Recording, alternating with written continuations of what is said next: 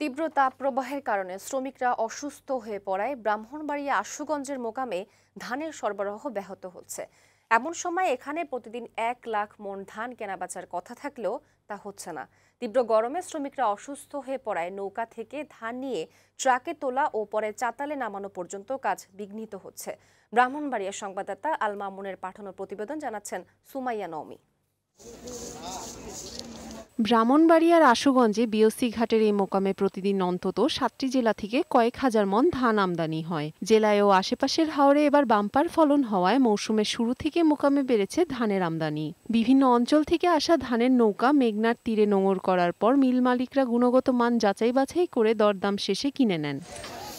প্রতিদিন এই মোকামে প্রায় আট থেকে নয় কোটি টাকার ধান কেনা বেচা হয়। তবে নৌকা থেকে ধান মোকামে আনতে প্রয়োজন হয় সাতশো থেকে আটশো শ্রমিকের। কিন্তু মাত্রাতিরিক্ত দাবদাহের কারণে প্রতিদিনই অসুস্থ হচ্ছে আট থেকে দশ জন শ্রমিক। গরমের কারণে দুই ঘণ্টা কাজ করলে পরে দুই ঘণ্টার কাজ করতে পারি না। শরীর দুর্বল জায়গা। প্রত্যেকদিন আমরা ধান অনেক আনলোড করতাম কিন্তু এবছর এটা পারতাছি না একমাত্র লেবারের সংকটের কারণে। শ্রমিক নেতারা জানালেন গরমে শ্রমিকরা অসুস্থ হয়ে পড়ায় মোকামে ধান সরবরাহের কাজ ব্যাহত হচ্ছে।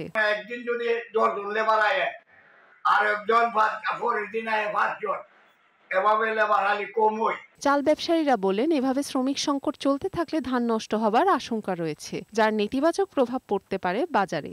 তীব্র গরমের কারণেও জায়গা সংকটের কারণে তারা কর্ম করতে অসুবিধা হচ্ছে। সরকারের তত্ত্বাবধানে যাতে এই বন্দরের বন্দোবস্ত করে দেওয়া হয়। লেবাররা যাতে সঠিকভাবে কাজ করতে পারে এবং